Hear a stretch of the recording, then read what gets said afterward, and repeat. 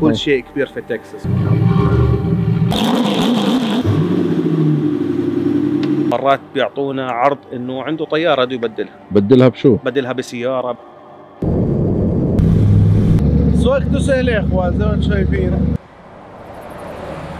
وما نزلنا في ثاني أكبر ولاية في أمريكا اللي هي تكساس. التقينا في شاب عربي. طبعا هذا الشاب هو شاب موهوب في عالم الموتورات واللي بحب دائما شغلته وصنعته أكيد بيبدع فيها عكس اللي بيشتغلها فقط للعمل. عشان هيك راح تلاقوا وراي عالم من الموتورات الموجودة في هذا المكان. خلينا ننطلق وناخذكم جولات مجنونة مع هذا الشخص. يلا.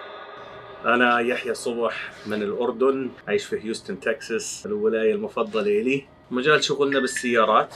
بجوز ما في كثير dealers زينا في نفس نظام شغلنا. بنشتغل boats marine motorcycles off road trucks كل شيء جواته يعني أنت متخصص موتورات؟ نعم. يعني بتفوتوا على محل ميكانيك مختص في الموتورات السيارات وبيع السيارات تلاقوا عنده طيارة. هاي طيارة حقيقية والزلمة بيطير فيها في الجو. هاي الطيارة طيارة هوايات. بتطير max يعني max flight ل 45 دقيقة. هواية مش للسفر. في كثير زباين بيسألوني إذا بتقدر تسافر فيها ولا هذه بس هواية. زي كأنك طالع لفة على الدراجة أو لفة بالسيارة. أنت نعم. معك رخصة نفس طيران. أخذت دورة في flight school بطير single engine Cessna تقدر تطورها لرخص ثانية بامريكا بلد الفرص إمكانك تشتري الطيارة.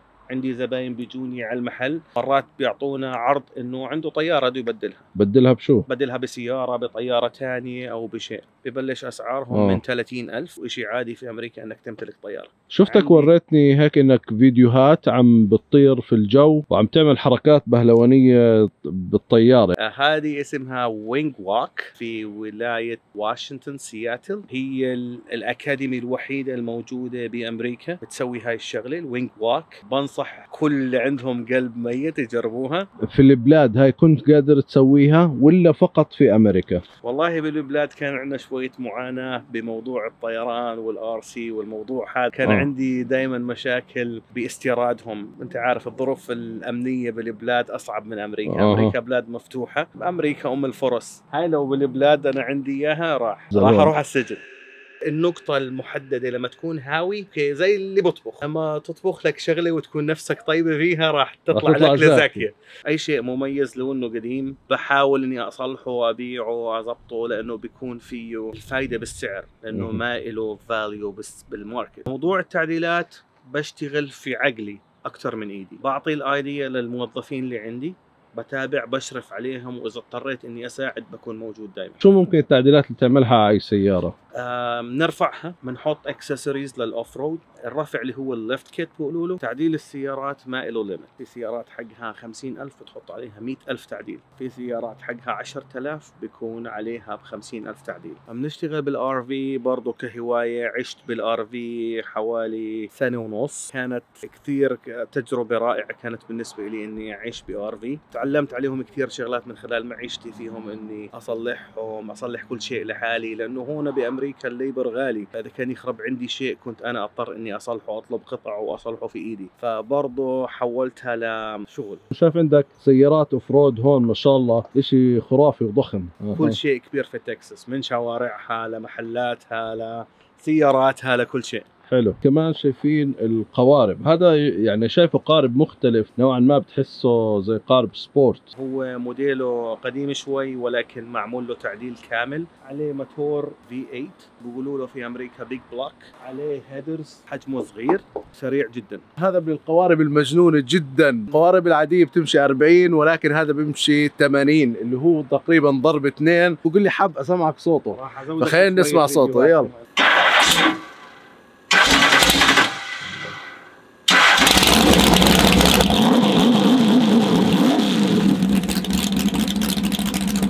فإذا ما بتسمع موسيقى القوة ما في أدرينالين. آه، هدول كلهم للبيع بنصلحهم وبنبيعهم برضو بجربهم في المي بنطلع فيهم بنشوف شو وضعهم شو أمورهم. رح نطلعك بكرة في واحد من أكثر القوارب من المشهورين خصوصا في تكساس. هذا 29 Baja عليه 2 engines 454 16 الله. سلندر بحكي لي إنه البيت عنده غريب عجيب. واصر علي إني أصور هناك بس مش فاهم شو القصة. فخلينا نكتشف الموضوع هناك. يلا. بيت يحيى هون. شوفوا ما شاء الله ما شاء الله. أهلا وسهلا يا الله. شوفوا ما اجمل القعدات. نقول بسم الله. ما شاء الله الكريم ما شاء الله. هاي my baby من عشاق ال Corvette أها. فهذه زي 51 2016 هذا ب... هذا بسموه آه، مخزنك الخاص الشغف الحب كله موجود فيه صح؟ hobby yes شايفين؟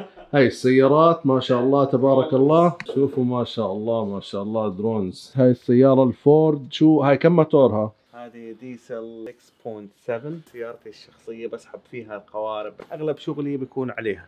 هاي بيقولوا لها paragliding مروحة بتحطها على ظهرك معها ال seat هاد معها باراشوت بطيروا فيها بهيوستن هون في منطقة اسمها نيو نيوبورت. شوفوا كيف حب الموتورات والشغف والهواية شو بتعمل. يعني بتخليك تفتح دائما أماكن خاصة في البيت أو غرفة سرية بتحط فيها كل شغفك وحبك في مكان واحد. يعني محله كثير مميز وبيته كثير مميز وكله عبارة عن موتورات فإحنا اليوم مع رجل الموتورات الأول في تكساس. عمر اتذكر أيام زماناته في مجمع الزرقاء وهو بيلعب بلياردو.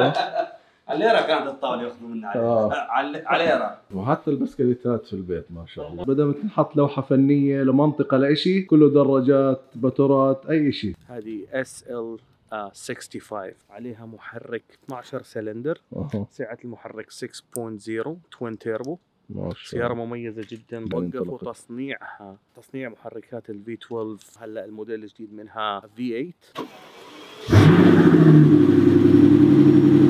بعد, بعد سرعة ال 100 مايل بتحس بقوة الموتور ال V12 صباح الخير يا جماعة. اليوم منطلقين على رحلة الفطور البحري مع يحيى وعمر. فانتظرونا. الشباب هون اللي بيجوا على أمريكا واللي حابين يجوا دائما الناس تسأل شو أسرار النجاح في أمريكا؟ طبعا أول شيء كن مع الله ولا تبالي. ثاني شيء ثابرتك وصبرك الصبر مفتاح كل شيء. مهما فشلت ضلك حاطط هدف قدامك ورايح عليه كل طريق وعر نهايته حلوة. أهم شيء في أمريكا يكون قلب الواحد قوي يحاول. في ناس حاط في باله خلاص بس بده يضل يشتغل عند الناس. بتحاول تدفشه إنه يسوي أي شيء ما بده. خلاص هيك طبيعته. بيخاف يخسر اللي معاه بيخاف يخس... بيخاف يسوي أي شيء. شو ما صار تضلك مكمل. قدرتش تدفع أجارك ما قدرتش تجيب موظفين بدك تضلك مكمل بكل النواحي. ولازم الواحد يكون برضه ثقته بالله كبيرة. وأهم شيء أهم شيء أهم شيء إنه يكون حاطط هدف في راسه. هاي الماكينة اللي هي بتسحب القوارب. يعني بتحرك القارب زي جاك وبركب عليها القارب بس تتحرك ماكينة صغيرة تسحب قارب كبير. ما شاء الله. زي ما أنت. أرجع. تمام شوف الناس تصحى الفجر تسوي مغامراتها. شغلات اللي بتحبها البحر وما البحر والقوارب.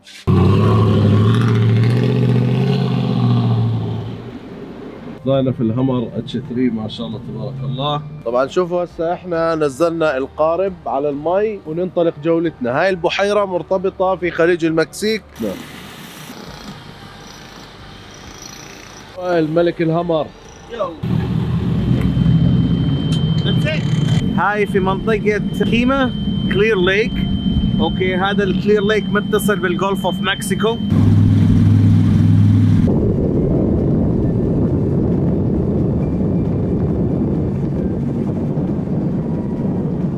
هاي القوارب زي ما بيحكوا American muscle سوقته سهلة يا إخوان زي ما أنتم شايفين.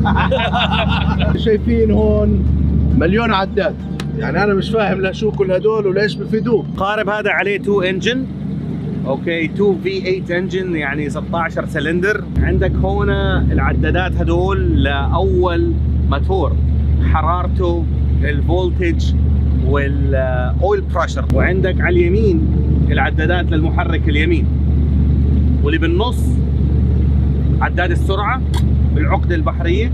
وعندك ليه بالنص تانك البنزين للمحركين. هذا الجيرز. آه. هدول للمحركين اليمين الشمال هدول الثروتل زي ما انت شايف أنا هلا شغال على محرك واحد.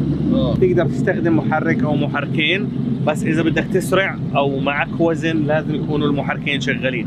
طبعا هاي غرفة اللي هي داخل القارب. وزي ما أنتم شايفين هون مخزن.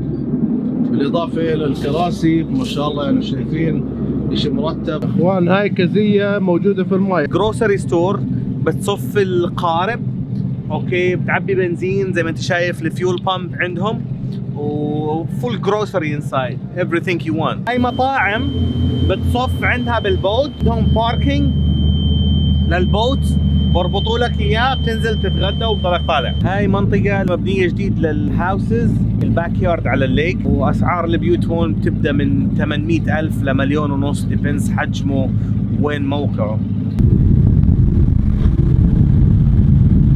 فعلا السرعة متعة جوا البحر وإلها نكهة خاصة. أمر من السرعة طاروا نظاراته. هذول قديش؟ سبعة.